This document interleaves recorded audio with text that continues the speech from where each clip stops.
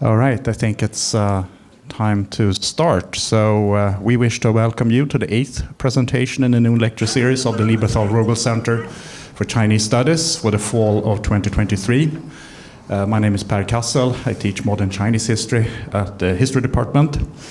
The complete series schedule is available here today and on the China Center's website. Uh, email reminders are sent out weekly for the lecture series. Uh, I'm going to start with a few announcements.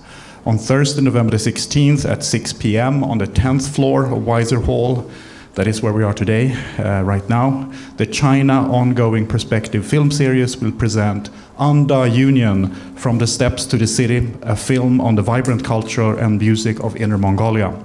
It will be followed by a Q&A with discussant Assistant Professor Sangsaraima Ujeed hors d'oeuvre from the Everest Sherpa restaurant will be served. The next presentation of the fall uh, 2023 LRCCS new lecture series will take place on Tuesday, November the 28th, uh, and will be given by Otto Chui Chao Lin, Senior Advisor to the President and Vice Chancellor at Hong Kong Baptist University, uh, who will be speaking on Lao Tzu's perspective on innovation. Please note that there will be no lecture next week, uh, Tuesday, November the 21st, due to the Thanksgiving break. I will now proceed to introduce today's speaker. Uh, today's presentation will be given by Kenneth Swope. Dr. Swope is Professor of History, Senior Fellow of the Dale Center for the Study of War and Society at the University of Southern Mississippi, and Senior Project Advisor for the Aftermath Project at the Autonomous University of Barcelona. He holds an MA in Chinese Studies and PhD history degrees from the University of Michigan. He is the author and editor of numerous books on late imperial China, including Struggle for Empire, The Battles on General Zuo Zongtang, forthcoming from the Naval Institute Press in 2024. He's currently researching a book on the rebellion of the three feudatories, uh, scheduled for publication in 2026. Uh, today he will be speaking on trickle-down Confucianism, war, reconstruction, and cultural assimilation in the late Qing. Please join me in welcoming him. Thank you. Uh, can you hear me? I presume you can, right? Pretty loud. All right, well, it's great to be back at Michigan again. Um, so many changes. So I was walking around campus this morning and going to the Asia Library and seeing how plush things are over there compared to back in the day when we had to toil away in a dark and lonely place. Uh, but you know, wonderful uh, setting up here today. So hopefully I can uh, do it justice. And um, as Par was talking, this uh, today's uh, uh, talk is going to concern trickle down Confucianism, which is basically the way I'm interpreting it here. This is Zuo Zongtang's plans for rehabilitation in, um, in China all over, but I'm particularly going to focus on the Northwest and his wars against the, uh, the Dungan Muslim rebels and against Yaqub Beg, who was the emir of Kashgaria briefly in the 1860s and 70s. And this is part of my larger project, which, as I mentioned, is a biography of Zuo Zongtang. So we will get to that here. Let's see if this works. Okay, so funny story is, as some of you probably know, I'm really a Ming historian, like a Ming Qing transition person. So most of my work has been 16th, 17th century.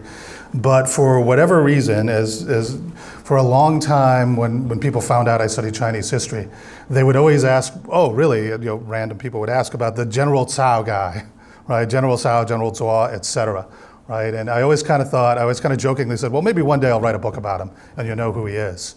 And so, as it turned out, um, 2015, I was a visiting researcher at IAS at Princeton, and uh, I was in a Middle Eastern restaurant of all places, and these grad students next to me were talking, and there was like an Asian grad student and three others, and they asked him about General Tso. Is this guy a real guy? And he's like, oh no, he just made him up for the Chinese dish. And I'm saying, and then, and then I leaned over and I said, actually, he is a real guy. And I, and I started talking to them, and they didn't really care, but um, but at least I informed them of this. And around that time, this uh, movie had come out, uh, The Search for General Tso, which was a Netflix movie about the the chicken dish, right? About General Tso's chicken. And uh, so I watched the movie And you know, it was really about finding the chicken dish and the, the chef who invented it in New York City and stuff like that. But they actually go to, to General Tso's hometown at one point and they ask all these Chinese chefs in China about this, and no one knew what it was. Right? They didn't know what General Tso's chicken was. Um, and I said, I really have to write this book now. I really must do it. And I figured, oh, it'll be easy, right? It'll be no problem. 19th century. Everybody knows a lot about the 19th century. Um, and, uh, and so uh, there was also a book published around the same time called Fortune Cookie Chronicles by Jennifer Lee, which is about Americanization of Chinese food. And so she has a chapter on General Tso's chicken in there. So there are all these kind of pop culture references, but I wanted to tell the real story of the real historical figure, which I, I thought would be relatively easy. But unfortunately, and those who do the late Qing know this, compared to the late Ming, there are just way too many damn sources uh, to study and master. And so, like, the first thing I did is I found, uh, because General Tso's 200th birthday was in 2014, the anniversary of his birth. And matter of fact, his birthday is November 10th, so it was just last week, which is one of the reasons I'm doing the talk this week. It's the closest I could get to General Tso's birthday. But, um, but as in part of the anniversary of that, they republished his collected works in China in 2014, and I picked them up, you know, 15 volumes, five to 600 pages each of classical Chinese, right? And everything is in there, right? Letters and memorials and correspondences and funerary inscriptions and poems. And, and, and so I quickly realized it was going to be a lot more difficult to do this book than I thought, just with that, right? Because you get a Ming Quanzhi and it's like two volumes, three volumes, you know, whatever, one volume, much shorter, much shorter to do that, this Qing stuff. And then on top of that, you have the Western newspaper accounts uh, accounts of all the things that are involved. And then, since Tso was a commander for 30 years, from 1850 to the 1880s, right, you have all those military campaigns he participated in. So you have the historical records from the Taiping Rebellion, the Nian Rebellion, the Dungan Rebellion, the, uh, the Muslim Rebellion in Xinjiang, the uh, Sino-French War, and you know, and again the Fanglue just run into like the Fanglue for the Shangan Xinjiang War alone, 30 volumes, average of five to 600 pages each. I read every one of them, all the way through. And, uh, and so I'm not doing any more late Qing stuff. There's just too much out there. So what you're going to get today is a small slice of some of the insights from the book as a whole pertaining particularly, because what I found was very interesting about him is that he had a very consistent approach to statecraft and to governance that was derived from his youth, from his training, uh, from his own personal experience that really permeated his entire official career as a military and as a civil official. And he was a very consistent person. And he was also very interesting because he so much encapsulates the kind of late Qing as a whole in that he's a reformer, but he's also pretty conservative, and he truly believed in the power of Confucianism to rejuvenate society. And, and his idea was that the problem is we need to embrace Western technology to an extent, but Confucianism needs to be the core, right? So, you know, Zhang Zhidong and some of these other guys get credit for this, but it was really Tso who kind of pushed this at an earlier stage, derived from his own readings of Wei Yuan and people in the early 19th century. And so that's kind of the, the sort of theme we're going with here. So. So of course that, right? We all know what that is, right? Had to have a picture of General Tso's chicken here. And, uh, and so this, uh, the book will be out with the Naval Institute Press uh, early next year. It's just, I finished the uh, page proofs this weekend. So, so uh, they tell me it's, it's going into copy or to indexing next. So it'll be out early next year, Naval Institute Press. And uh, that is a cover. And that, that image is actually a battle, that's battling the Nian rebels. And so I think it's from a museum up in Canada. I think Alberta, one of the Alberta Museum has this image of the, the Qing fighting the Nian. And so here's a portrait of Tso. One of the other great things about the late 19th century is that you have photography, right? So we actually have photographs of Tso and Li Hongzhang and Zeng Guofan and some of these people. So this is one of the uh, uh, of his uh, when he was out in Gansu, him as the uh, governor general out there. All right. So, uh, and this pertains specifically to what I'm going to talk about today in dealing with the reconstruction of uh, Gansu and Xinjiang and Shaanxi in the wake of the uprisings there. And a famous Qing mantra there is no distinction between Han and Hui, there are only good and bad people. And um, some modern biographers have attributed this statement to Zuo himself because he uttered it frequently. But in fact, when I was doing my research and reading the Fanglue, the Daoguang Emperor was saying this in the 1850s about incursions into Central Asia from uh, in, into Kashgaria and these areas into Xinjiang um, in, in that period. So he did Zuo Zongtang did not invent that statement. It was official Qing policy at least from the 1850s, if not earlier.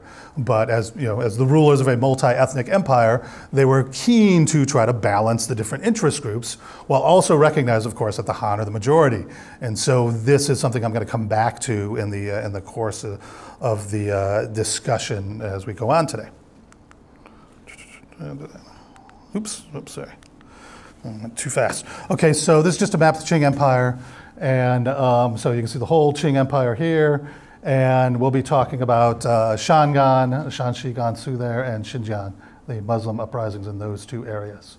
But uh, uh, this is one of the maps from the book. I like the mountains in there, they look good. I have a good cartographer. All right, so uh, Zuo was a native of Xiangyin, Hunan, and uh, he was from an academic family, but his father and grandfather were the lowest, uh, like the Xiucai level and uh, but they were rather poor, and so they had to do a lot of their own like farming and things like this. But he was from a young age he was inculcated in the Confucian classics, but also in practical learning and things like this. So he was very interested in stuff like agriculture, strategic geography, thing, uh, those sorts of subjects. He was a huge fan of Wei Yuan, who publishes you know sort of strategic geographies of the of the Northwest and the coast and other things in the 1820s. And so Zuo passes the, um, he passes the exam for the lowest degree in 1826, and he earns the Juren degree in 1832 at the age of 20. And so he, and he was ranked very high in, the, in his class of Juren. However, he never passes the Jinshi degree. He never gets it. Right, so he tries three times and fails. Three times in the 1830s, he attempts to take the Jinshi degree and fails. Uh, the popular story is that in one of them, there were some of the examiners that wanted to pass him, but others thought that his, uh, his writing style was too pedantic and too ordinary, and they didn't want him, they, they, they rejected it right? And, um, and he was not, and his exam essays have survived. They're in his collected work, so if you want to read them, you can read them. And, he, and again, it's interesting because he talks about a lot of practical things about state and society renovation, about taking care of the common people, about teaching them things like farming and stuff. He himself, when he fails the exams a couple of times, he decides to become this recluse, sort of scholar farmer, calls, him the, calls himself the old man of the Xiang River, and starts like writing agricultural manuals and things, and then going out into the countryside and working with peasants to like learn how they like grow rice and stuff like this. So he's really kind of invested in this as one of his, his kind of personal interests and then he'll eventually get a job as a, as a tutor, which I'll talk about here in a second. But I think the key part here is that he's strongly influenced by this wave of geostrategic literature and renovation literature that emerges in the early 19th century in the Qing, right? And so, you know, the old narratives that the Qing was totally in decline and they didn't know what was going on from the you know, White Lotus revolt on. But as many of you probably know, there's a lot been a lot of revision to that in the last couple of decades with the realization that, in fact, the Qing rulers and a lot of the officials, military officials, et cetera, were very aware that changes needed, needed to be made in government and you know, social organization, et cetera, and there were people interested in solving these problems. There were a lot of other problems involved with factionalism, et cetera, that we can talk about at some other point. But, but Zuo was clearly influenced by this as a young man and, believe, and he sincerely believed that a kind of Confucian oriented society, taking care of the masses itself, was, was the key to uh, social renovation and, and, and the survival of the Qing. Right? So um, his parents both died when he was fairly young. And uh, so, and he got married right around the time he got his Juren degree. So he had a family to support. So he became, like a lot of these people did, he became a tutor, right? And he, he got a job as a tutor to Tao Zhu, who was the viceroy of Liangjiang in the 1830s. And this was important because, and this will be a, another theme in Zuo's life, he acquired powerful contacts as a result of this. So Tao Zhu was well connected in Hunan society, and he introduces Zuo to a number of other luminaries who were you know officials already in the in Hunan or in other places of China, but they were all Hunan natives.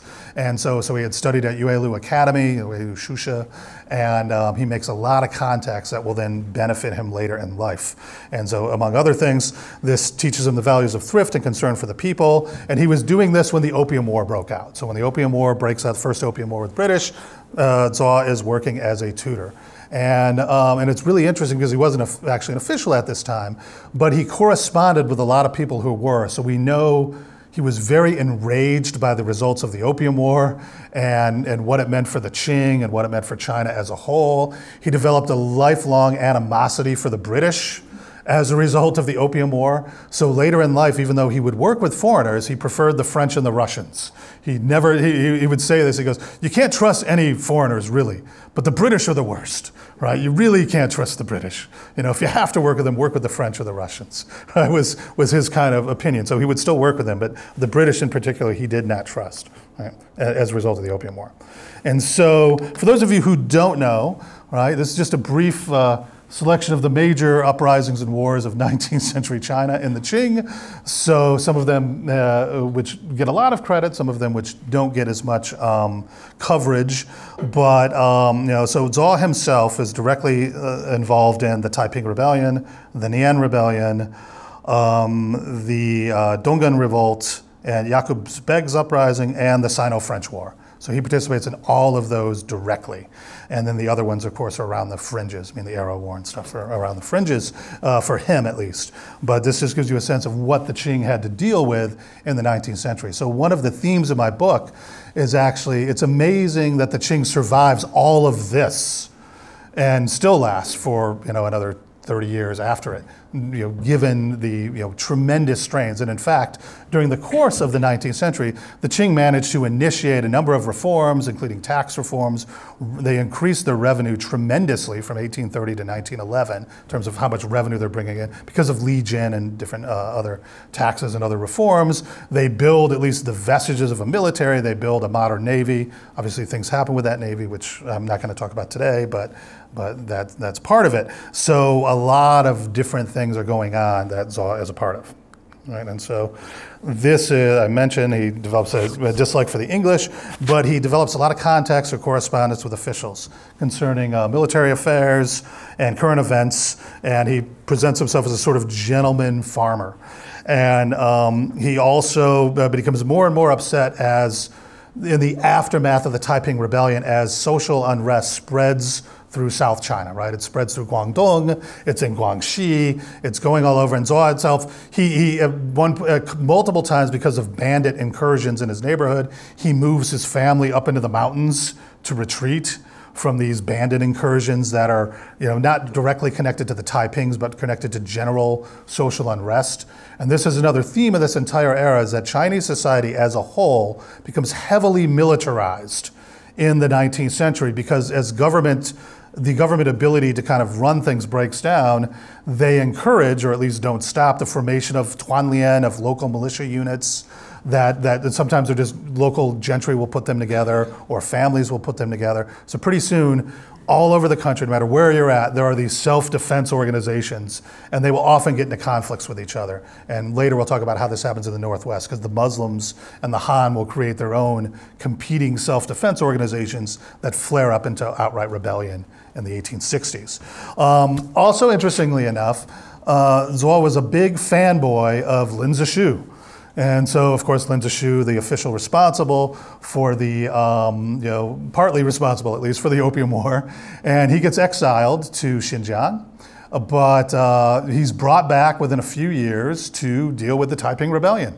And so on his way back, he, had gone to another position first, and then they were going to send him to Guangxi to battle the Taipings after they had won a few battles. And on his way to Guangxi, from I think it was in Fujian, he, he and, and Zongtang have like an all night meeting on a boat and river outside Changsha, and they discuss all these things about, about government and everything else. And Lin had been to Xinjiang, and so Zuo was really interested in life out in Xinjiang and, and the environment there and his you know, strategy and stuff. And so later in his life, and interestingly enough, Lin and others had previously argued that Xinjiang should be a formal province of the Qing dynasty, right? And so, which is what Zuo will push later right? And eventually he'll help create it.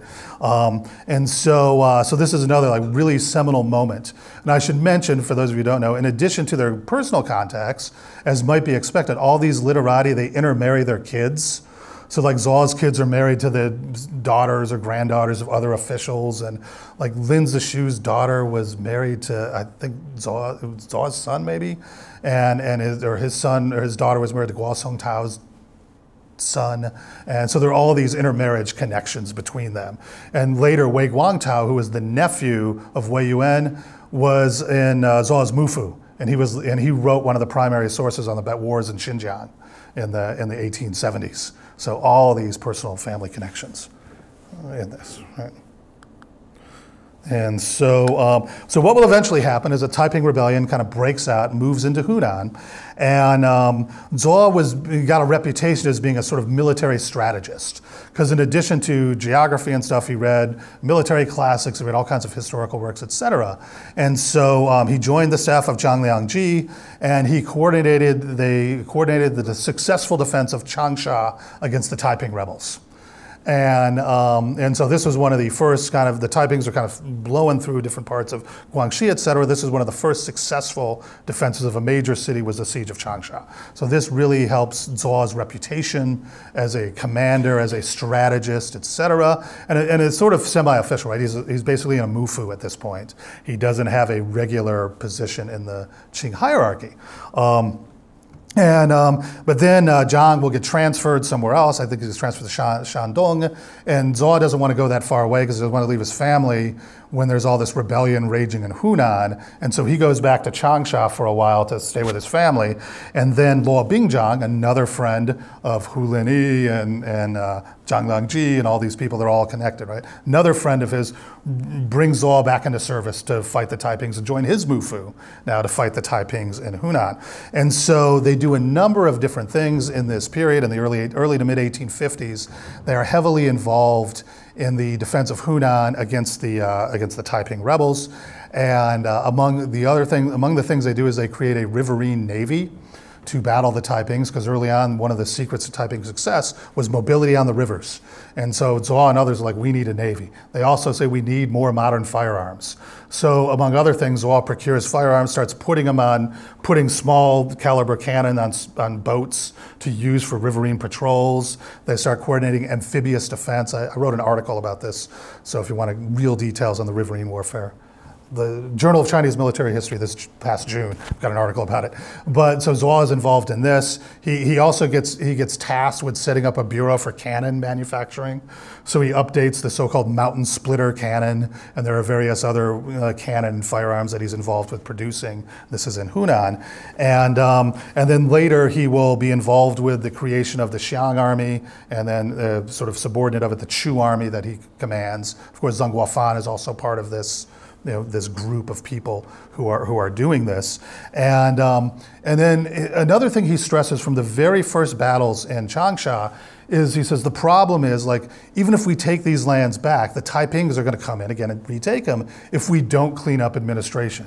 He goes, we need to provide you know, tax relief, food, shelter, improve the infrastructure, get business going again. He, he talks about all these things that you need to rejuvenate society at the local level, get rid of corruption. That's he's, he's always harping on corruption, trying to get rid of corrupt officials and these sorts of things uh, throughout this. And, and, he will, and as he's doing this, right, he's sending letters to uh, various other officials about this, complaining about maladministration and people siphoning funds and stuff. And he also writes letters to his sons, like study hard, you know, learn Confucianism, these these sorts of things, like learn the classics. These are the keys. It's really interesting to read those. Right. So here's an, here's an image of the um, of the Xiang army. You know, so notice the firearms and things. And it's uh, sometimes uh, sort of erroneously uh, noted that it was the Westerners who come in in the 1860s that kind of introduced modern drilling and weaponry, et cetera, to the Chinese forces. But in fact, this predates that by about eight to 10 years. Right, they were already integrating as many Western firearms as they could, uh, cannon, uh, small arms, et cetera, and, and doing different drilling formations. So interestingly enough, one of the inspirations for both uh, Zuo and Zeng Guofan was Qi Ji Guang, the, the Ming general who wrote all kinds of manuals to fight the Japanese in the, uh, in the 1550s. And of course, those methods were then translated to Korean to fight the Japanese in the 1590s. So uh, interesting connections there. And so this is this is battling the Nian. So uh, so essentially, uh, uh eventually Zuo will get will get regular government positions, and he will be promoted you know, up through the ranks. He eventually becomes governor general of uh, Zhejiang. And so he is associated with the recovery of Hangzhou and Zhejiang and the Taiping Rebellion. And then later he will be tasked with wiping out the Taiping remnants. So a lot of people don't really know this, but even after the fall of Nanjing, 200,000 Taiping troops sweep down into Fujian and Guangdong. And Zuo is the one who wipes them out.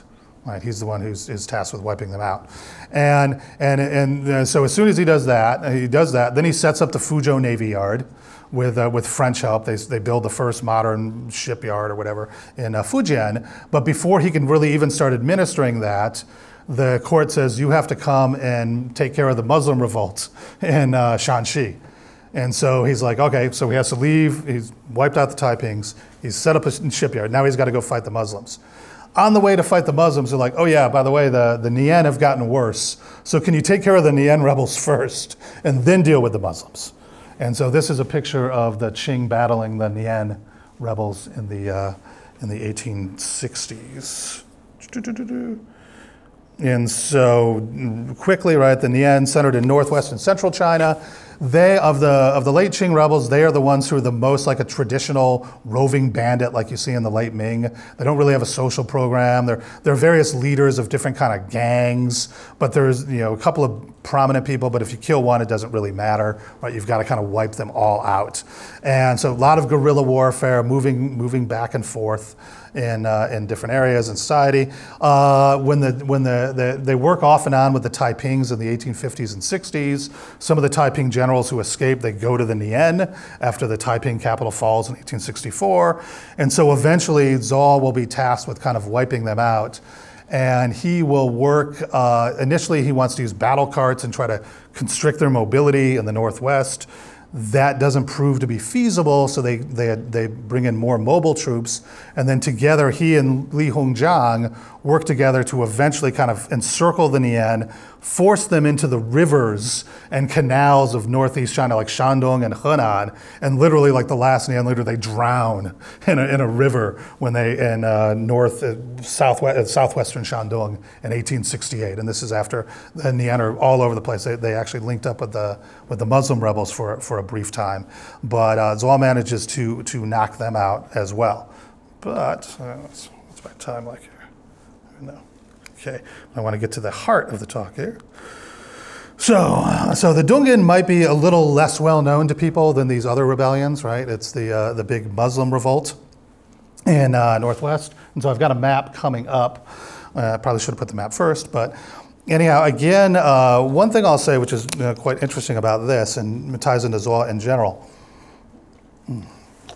is that the, um, when you study Zuo Zongtang, it's very interesting to see how his evaluation in China has evolved over the last several decades.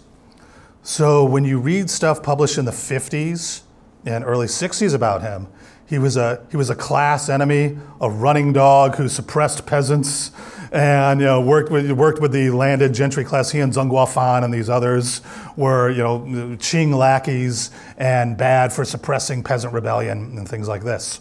Right? Later, uh, more recently, however, that has changed, right? So now, um, and, and that change starts in the 1980s and go more towards a nationalist hero and so now they emphasize his efforts on behalf of the unity of the Chinese nation and keeping Xinjiang and creating the province of Xinjiang and creating Taiwan, which he's also involved in the creation of Taiwan as a province, and in you know preserving the, the, the, the people together, as well as his concern for the common people and um, and his uh, you know so his military exploits, his fighting off the Russians in the Ili crisis, his battling the French in the Sino-French War. So now Zuo is a hero again for all these things for Chinese unity, and they tend to the the you know the execution of uh, Muslim rebels or Taipings. They tend to that's sort of swept under the rug to emphasize his more patriotic dimensions and aspects as one of the leading lights of Chinese nationalism and the Chinese people. And so it's a really interesting uh, development in how that. And also quite interesting for the purpose of this particular rebellion, and I will say this about the Chinese communist uh, historiographers.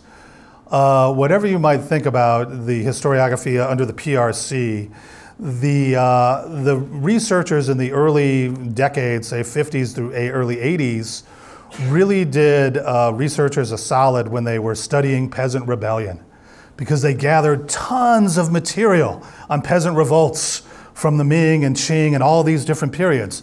And fascinatingly enough, they also did oral histories. And so for me, like the only time I've ever used an oral history was I stumbled upon a collection of oral histories of people in Shaanxi re- recalling the Dungan revolt that the Chinese communists had conducted these interviews in the 50s. And then finally, they published this book of these interviews in the 1980s. And, and I found it on Amazon, of all places. I was doing some kind of search, and this book from a Chinese publisher popped up on Amazon. And I paid the 60 bucks, even though it was like 15 renminbi, but I paid the 60 bucks US to get it. And it's a really fascinating source because they're interviewing peasants in the 50s in Gansu and Shaanxi about their or their parents, like what did their parents tell them about the Dungan revolts. And they go to all these different sites and these, these old mosques and these steles that were erected by the Qing and, and other things and you know, memorials and stuff. So it's really an interesting, like on the ground view of how the Dungan Rebellion was remembered at that point in time, right? And so that gets into sort of what happened with the with the Dungans. So the Dungans are the Chinese Muslims, also called Hui. Um, and they are the non, in a simple sense, the non-Turkic Muslims are generally called Hui, although the Chinese sometimes use that term for everybody, like the Qing or the Han. Some, every Muslim are called Hui, but generally they refer to the ones who live in China proper as Hui, and the others get some other designation but um, but um, depending on where they're from. But you know, Dungan is how they usually refer to those in Shaanxi and Gansu. And um, so what had happened throughout the 19th century is that there had been assorted tensions between Muslim and non-Muslim, both in you know Shaanxi and Gansu, and also in Xinjiang. And periodically, and part of this is caused by the militarization, part of it is caused by the, the nature of Qing administration, which was pretty light and they would appoint local Muslim leaders that they called begs to kind of run things for them. As long as they submitted taxes, they could kind of do what they wanted. But these people sometimes were very corrupt and abusive towards you know Han and Muslims under their charge, and so there were a lot there were a lot of cases of, of violence.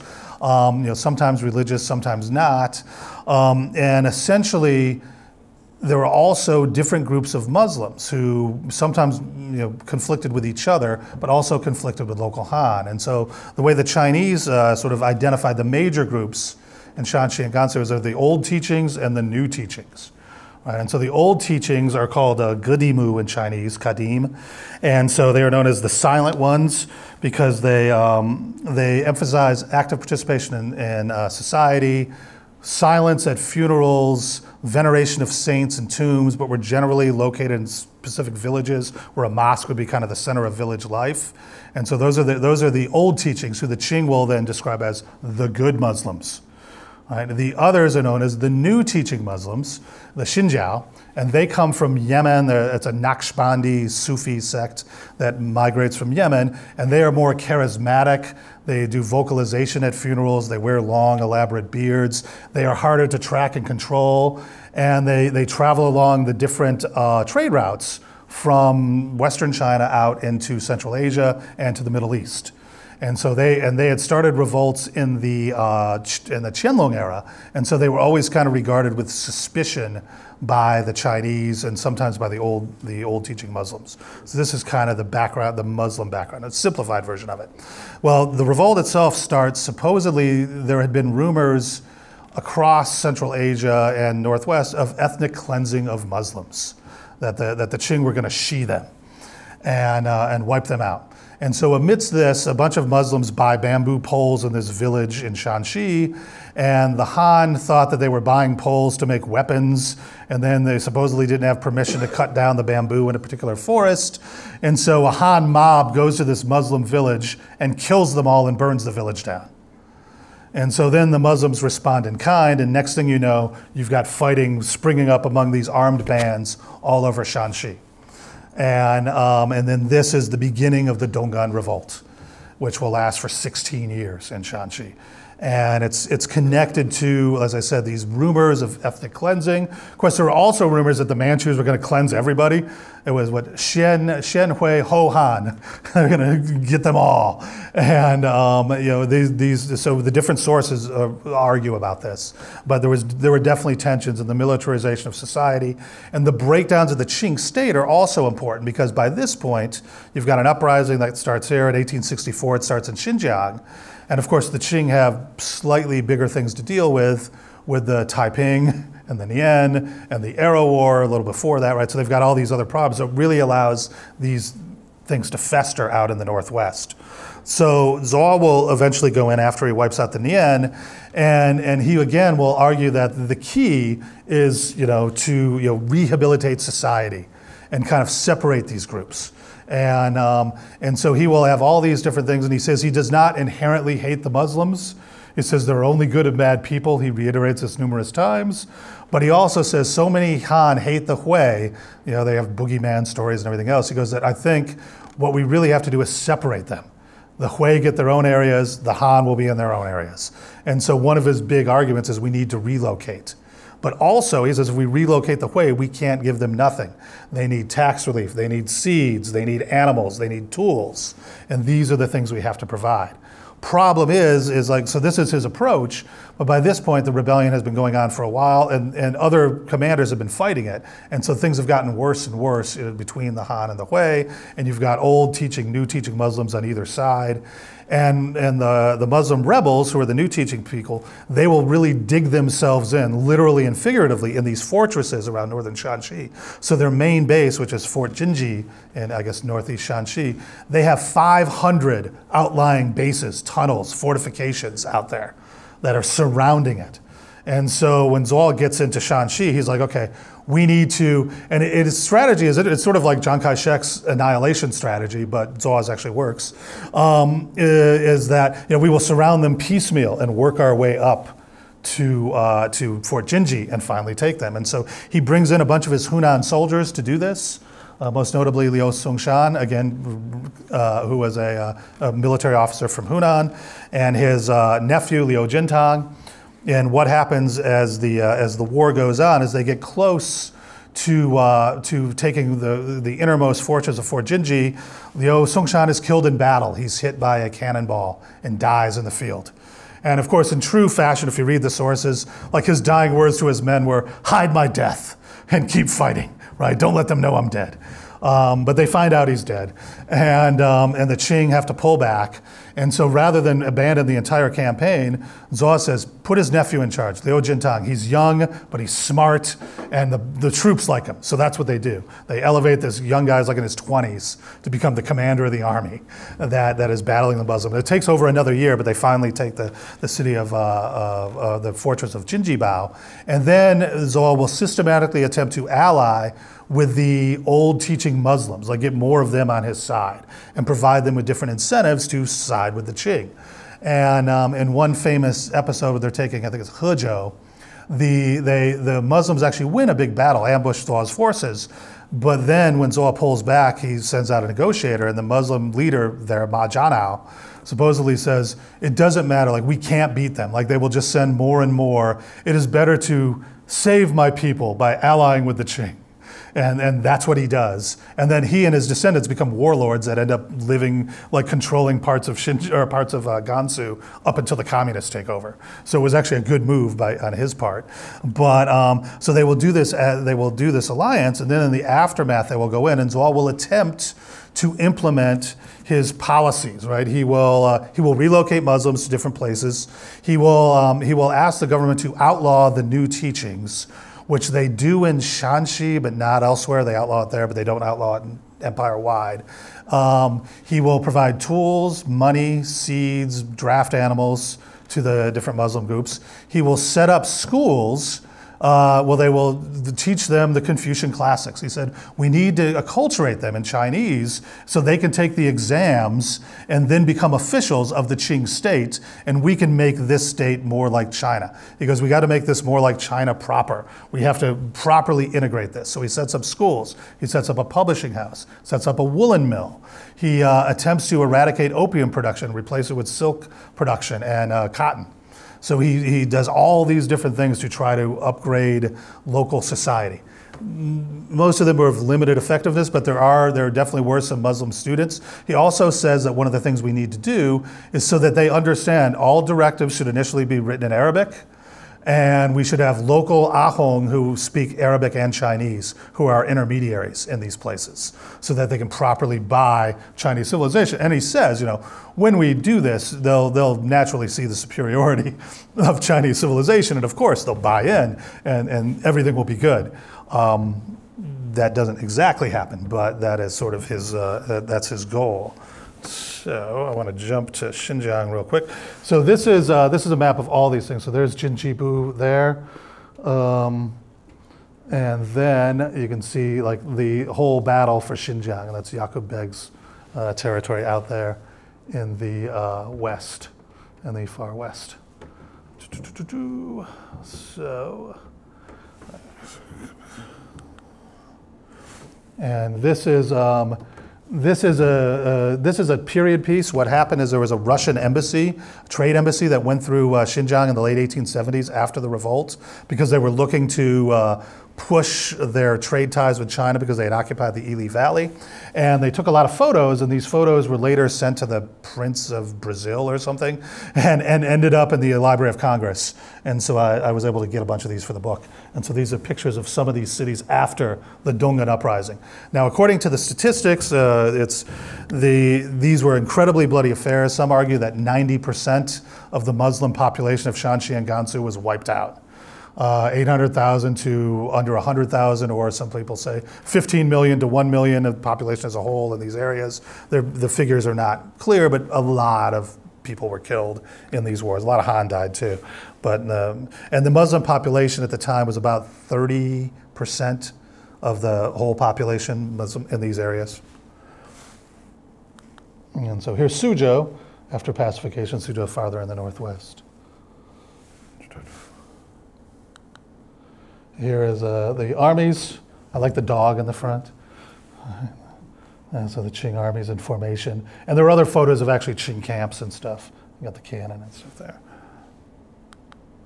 And so, meanwhile, and um, I think I'm running out of time, aren't I? Um, meanwhile, uh, out in the west, there's a Tajik ruler, a guy named uh, known as Yakub Beg, who, uh, as a result of other things going on with the uh, state of Kokand, and uh, other developments in Central Asia, eventually decides to move into China. He, he, gets sent as an assistant of someone else to raid into Kashgaria. He deposes, he's a commander, he's a general, he deposes the leader, takes charge himself, and essentially becomes the emir of Kashgaria.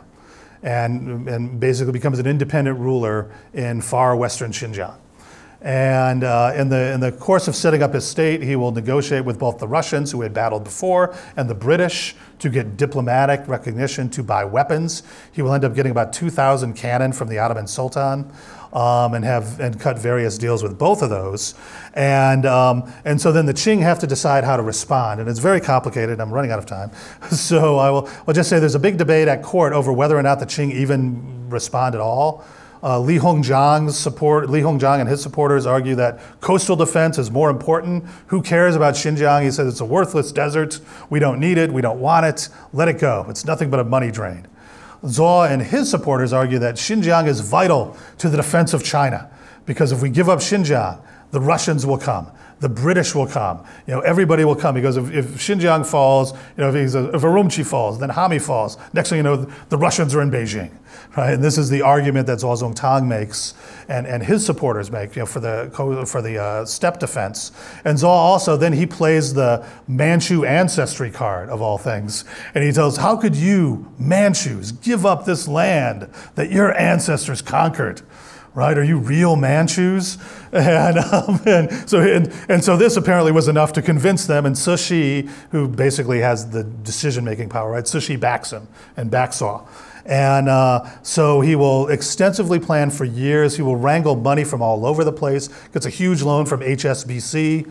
Um, he also manages to convince the Russians to sell them grain, even though there's a famine in Russia. the, the Tsar, which is probably why he was assassinated, right? The Tsar sells grain to China to, uh, for this campaign against uh, Beg. In the meantime, the Russians had occupied the Ili Valley in the beginning of this period, in 1871 to protect their interests, and, and they were going to give it back to China, they said, and that leads to another crisis later.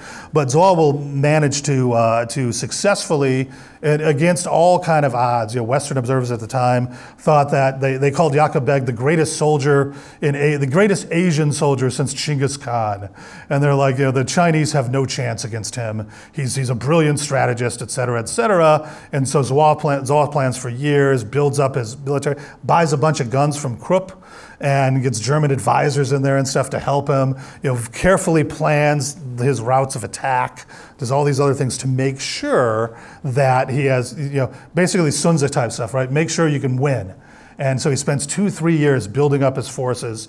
They go through, they steamroll Yakub Beg. The, the, the, rebels don't win a single battle. Yakub dies. The Qing say he takes poison and despair.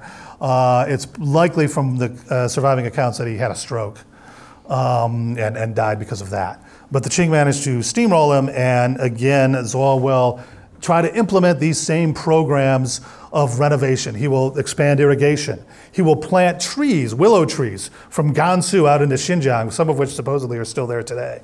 But plant like roads of trees and do all this irrigation uh, projects and all these other things. They will elevate, you know, lo- local loyal Muslims to positions of authority.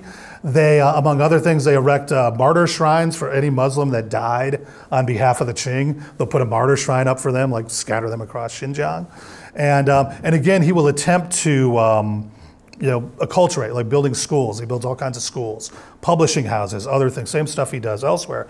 And then he will push for the creation of Xinjiang as a province, as a real province, right? Because it had just been a territory under the Qing, with, with, with all that that meant in terms of you know, revenue, prefectures, districts, et cetera, right? To really provincialize it.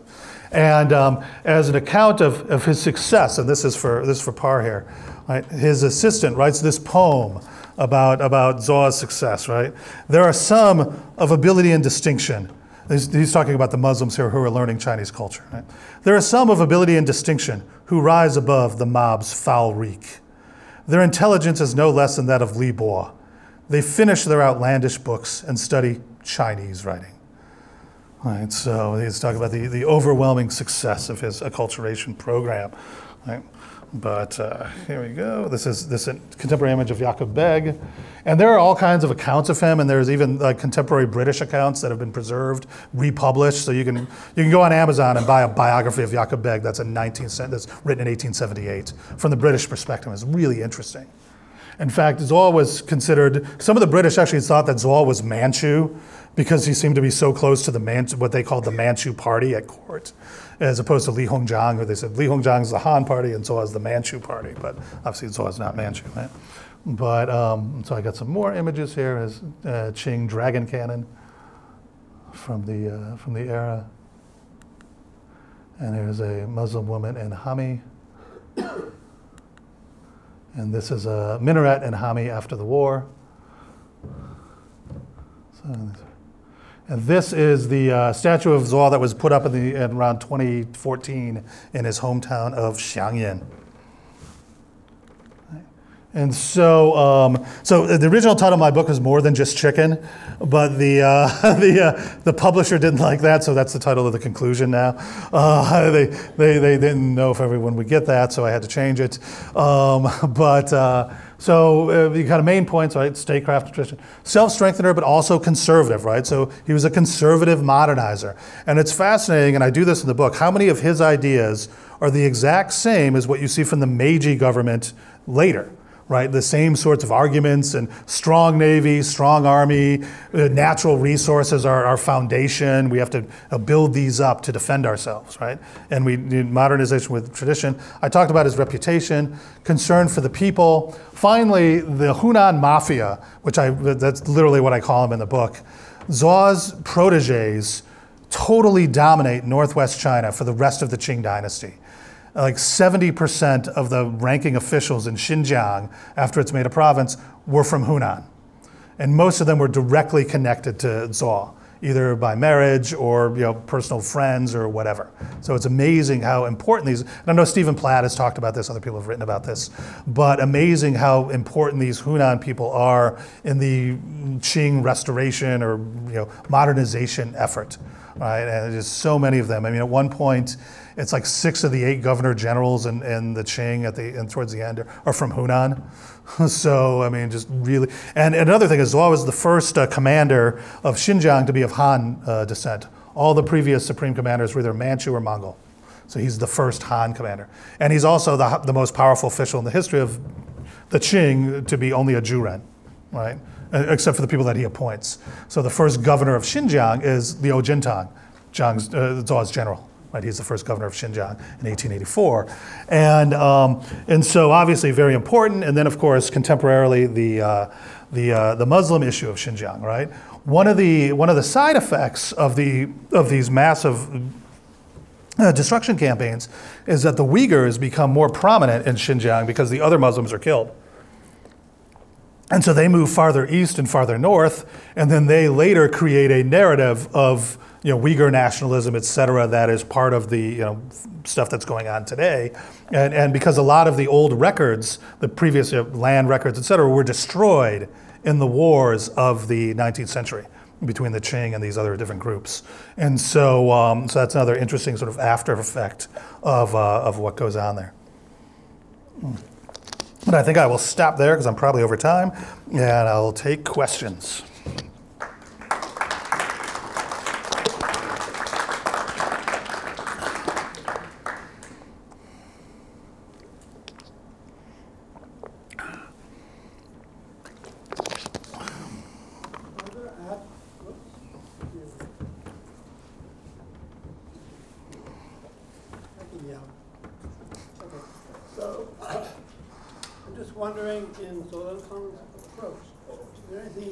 Hearts and minds when he's dealing with non-Han folks in the Northwest.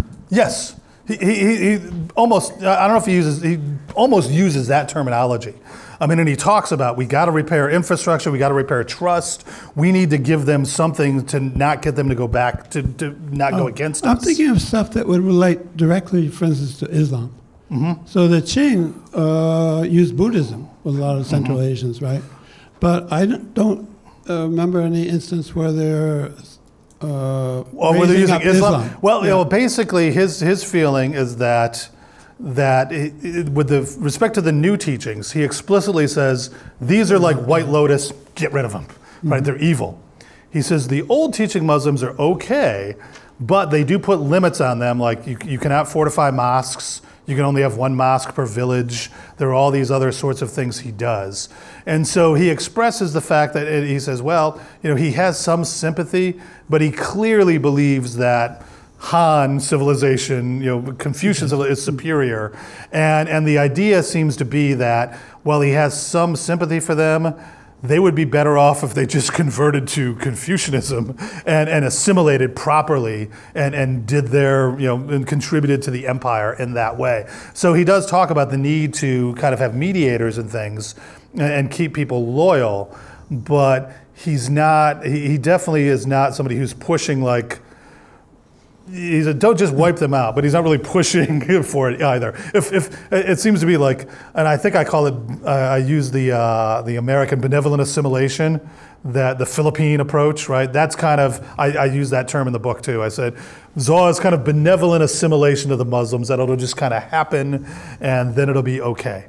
And, and, and it's interesting because he goes back and forth. There are times where he seems very sympathetic, other times where he does seem pretty negative and say, well, you know, they've got the bees, the, they've got the nature of wolves and sheep, and what are we going to do with them? And, you know, it- but then he'll go back and say, well, they're people too. You have to understand, they, just, they have their families, and we have to protect that. But it's more from the imperial perspective, right? We've got to protect that to maintain order, to get supplies and things to strengthen the empire. So for me, Hui Hui has kind of a negative connotation. Did he try to tamp down the use of that term as opposed to Hui? They generally, I think the, the, the term that you generally see in the accounts are, is just Hui, not Hui Hui, it's just Hui. Right. Yeah. That would come up in oral uh, Yeah. conversations with folks. So harder. At least it didn't have like a dog radical. Yeah, yeah. Yeah, it doesn't, yeah. yeah.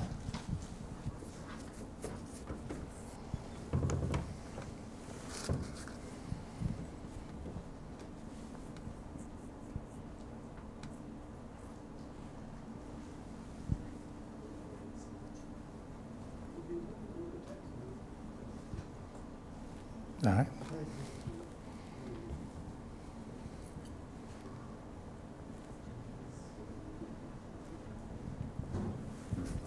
So uh, you mentioned uh, the distinction between Han and Hui. Uh, so Hui, uh, that, that they wouldn't make any distinction. So th- does this uh, Hui include uh, Uyghurs?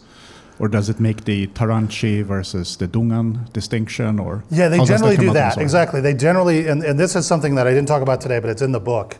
Because what happens is in the Yakub Beg revolt, initially, like the Hui work with the with the Turkish Muslims, right, and revolt, and then they at some point they kind of turn on each other.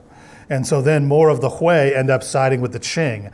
And in fact, what ends up happening to Yakub Beg is that he becomes he's like this hardcore, you know, Islamicist who wants to, to impose more of a kind of Sharia law, and it pisses off all the, the Muslims that were already there, and they start saying, "Well, God, the Qing were better than this. Like, we don't want this guy in charge. Like, he's, he's you know stifling us, and he wants us to do all these you know observations and become much more religious than we were." And and that actually he actually they get they turn against him.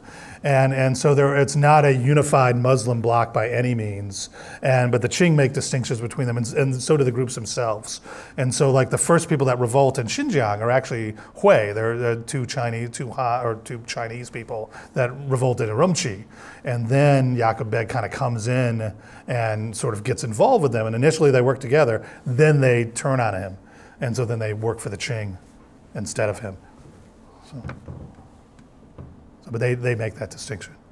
And, and I didn't talk about, there's a lot, there's also distinctions between the different Turkish Muslim groups. There's the black hats and the white hats. And one of them is connected to the Dalai Lama, and there are all these other sorts of permutations in it. But you know, I didn't have enough time today, so you get the simple version. Can you comment a little bit about current views of General Zuo in, uh, in contemporary China?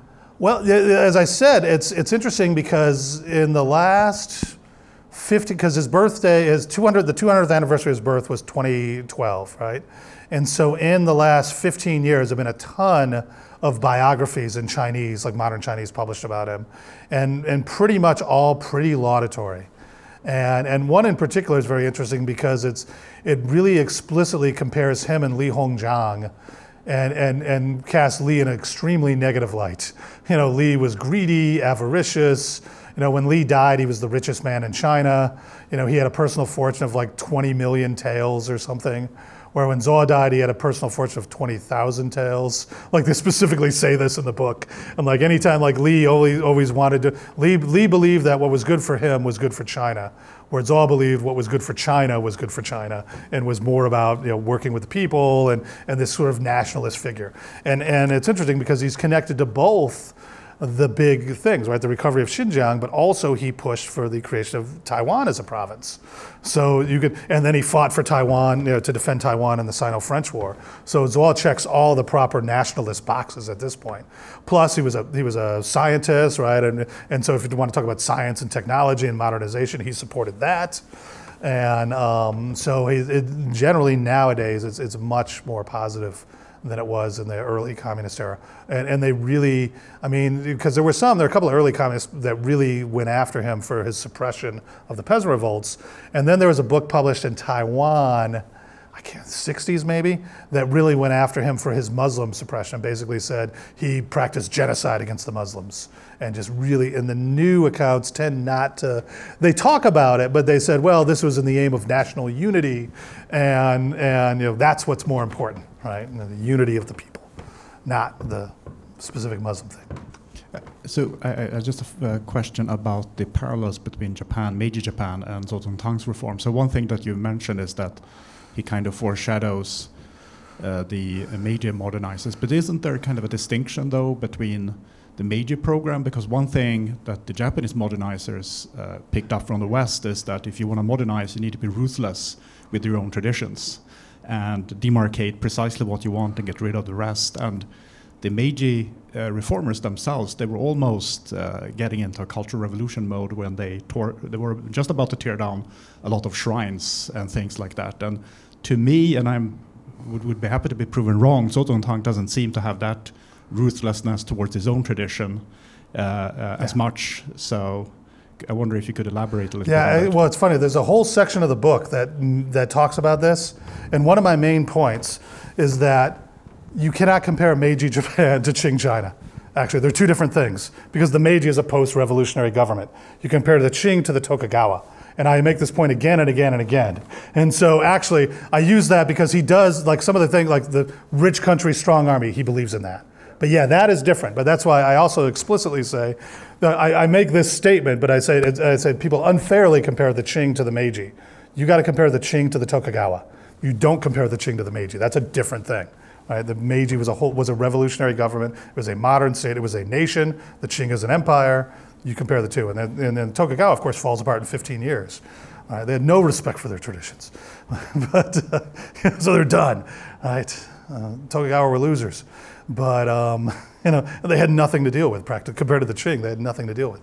But um, but no, that's a good question. Yeah, and and I I want to be clear that I think Zuo presages a lot of their ideas, but definitely that tradition thing is not. I mean, he believes in the power of the tradition to renovate but also he, he's not, and it's interesting because even the Western press in China at the time go back and forth with their opinion of Zuo. Like sometimes he's a pig-headed, anti-foreign, xenophobe, blah blah blah. Then at other times he's the best leader in China. It's amazing, like month to month, how like the stories in the North China Herald, which I read a lot of, like how they evaluate the different figures, and they really have this thing about Zuo versus Li Hongzhang. Like they are they are obsessed with the rivalry between those two.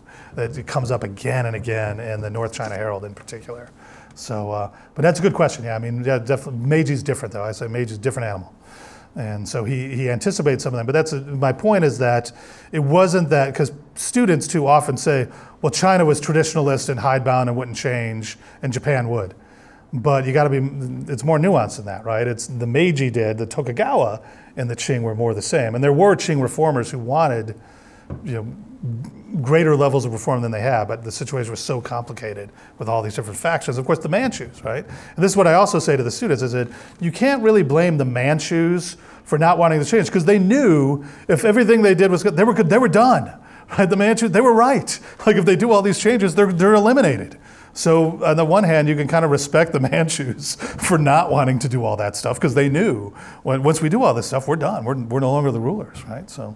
So uh, I, I kind of uh, you know see that, and and it's interesting to see the debates and like and, and, how the different Manchus get into it too. You know, Prince Gong and some of these other people, obviously Cixi, Ci'an, I mean, are, are, all involved in this.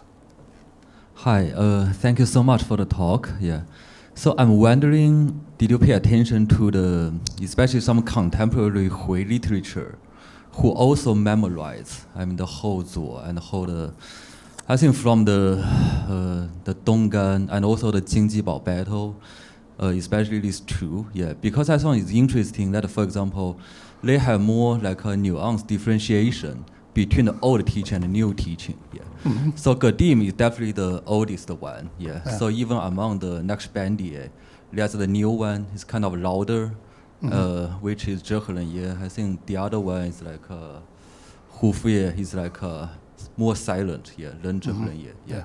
And then Ma Zhan'ao is actually the kind of the new teaching. Uh, it's kind of the Hufiye, the silent one in the new teaching. Yeah. And then Ma Hualong, the leader of the Jingji Pu, uh, is like the, uh, I think the louder one of the new teaching. And Mm-hmm. according to this kind of literature, I mean, the most famous one is probably Zhang Chengzhi, you know, the famous Hui novelist uh, who is still quite radical and active in contemporary China. Mm-hmm. Uh, so in his narrative is super kind of a moral, is a moral narrative in the way that uh, Ma Hualong, I think, get treated by Zuo.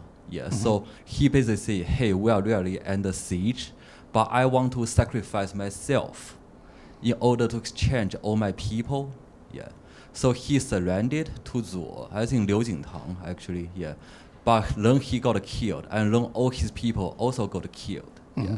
And the consequence of this memorization is also, it means Zuo is not doing assimilation at all. Yes.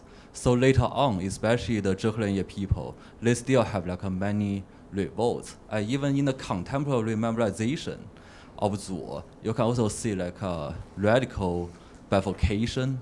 I mean, some people really think he's an asshole. I mean, Oh, yeah. his strategy is always about cheating. Yeah. But the other is, of course, you know, the national unification narrative. Yeah. Yeah, well, I'm not a specialist in Muslim history at all. So, and I'm more interested in the Qing side of it. So I haven't really looked at that stuff so much. But I mean, what happens with, with Mao too, right? Or um, with uh, Ma Hualong, right? He's Mao Chao, Chao Qing for a while, right? He, he had already kind of submitted to the Qing, and then basically, as soon as he submits, he takes a new name, Chao Qing, right? Cle- clearing him, cleaning himself, right? Clean spring, whatever, clear morning, right? He takes a new name, and he immediately, you know, rebels again and, and gets all these guys to join him. And so what happened is when they finally get him to surrender, supposedly, and again, the, this is the Qing perspective, supposedly they, they have to turn over all their weapons and stuff. And then they find a cache of a thousand weapons hidden in his fortress. And so that's why they execute him. That's what they said. Right? I don't know if the Muslim the Muslims are saying that, but that's what the Qing say. And, um, and that's why they ended up executing him. But he had, he, had, he had already revolted again after he had surrendered. And, uh, but yeah, I mean, uh, but clearly because the Qing make a pretty clear distinction between what they see as the old and new teachings, that and and Zoya definitely was those guys got to go, and and he and he explicitly uses the White Lotus comparison, the Bai Lian Hui. He said these guys are like Bai Lian Hui, Bai Lian Chao. They're the same thing. Where the other ones, there is more assimilation from some of the Ma Zhan'ao and his family and some of those others. But I didn't really look at the. the I, I tried to bring some of that in there, but I'm not a specialist in Muslim history at all. I do military stuff, so I'm more interested in the Qing side of it. But that's good. It's interesting to know that. I mean, I know Zuo still has a negative reputation in, in some circles, but the dominant perception of him in China today is obviously as a hero, right? But that's a good point. Thank you. I have a question from the virtual audience. So this is a question from Erik Mueggler. First, I want to say that I'm an admirer of your work. Your book on the Ming-Qing transition in the Southwest rocked my world.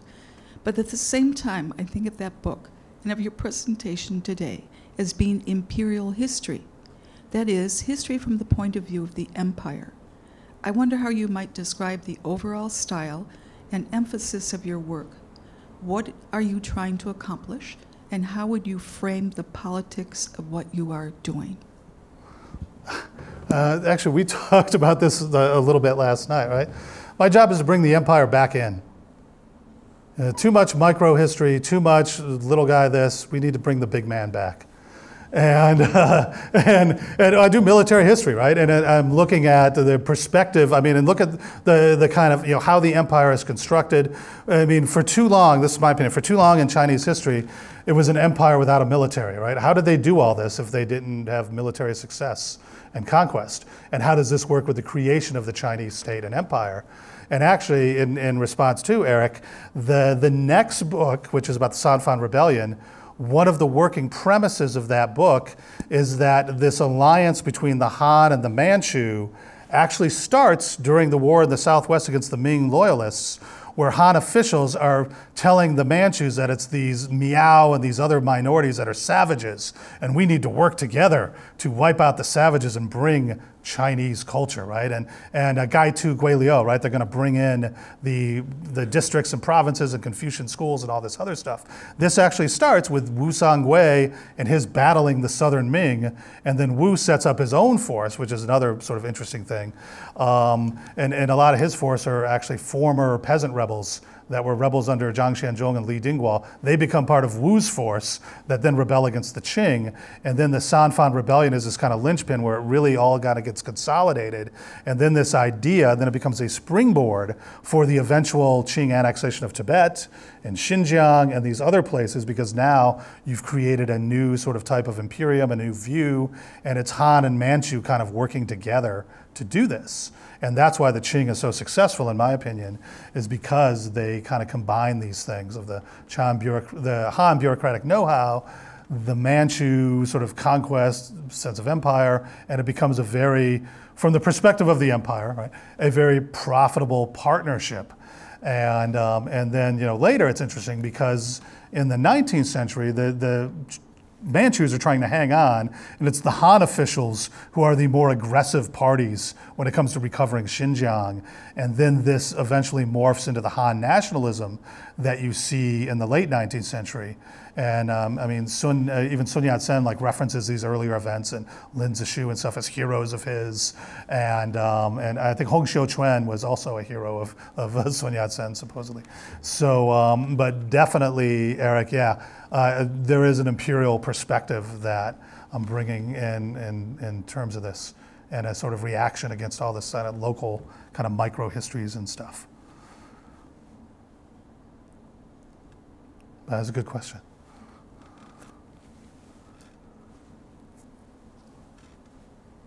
But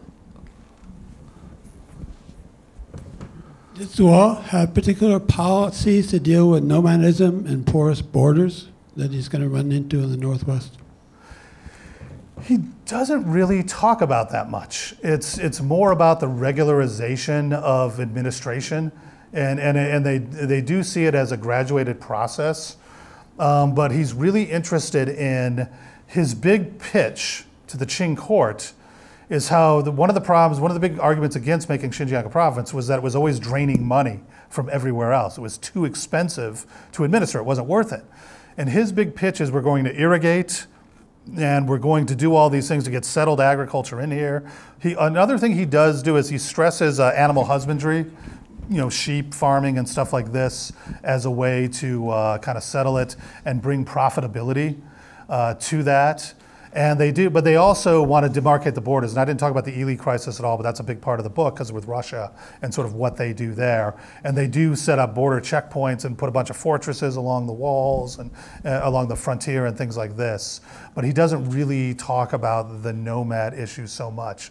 Although it's interesting, one of the things that also happens in this war against Yakub Beg that I didn't talk about is that they, they bring a lot of Mongols in to fight from from the, some the Alashan Mongols and some of these other groups get brought in by the Qing. So they like okay, we got because uh, Yakub Beg is like three three cavalry for every infantryman he had in his army. His army is like 40,000 or something.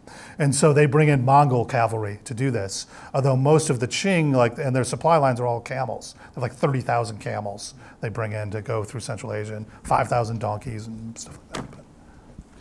Okay, so with those words, uh, I wish to conclude today's uh, uh, meeting and uh, give uh, Ken a warm applause, please.